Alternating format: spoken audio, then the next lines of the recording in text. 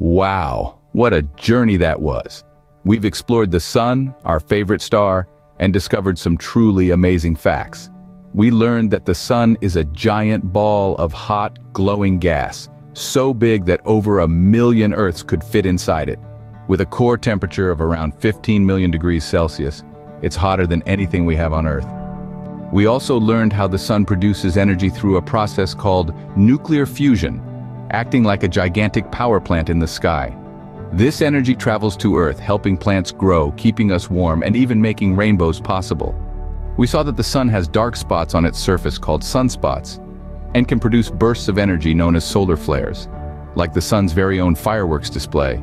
But remember, these are far away from us, so there's no need to worry. Most importantly, we learned how to stay safe under the sun. Remember to always wear sunscreen, a hat, and sunglasses when you're out playing in the sunshine. And never look directly at the sun. It's too bright and can hurt your eyes. Thanks for joining today's Sunshine Adventure.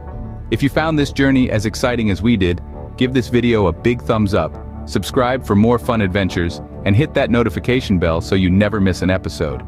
Until our next adventure, keep shining bright, little stars.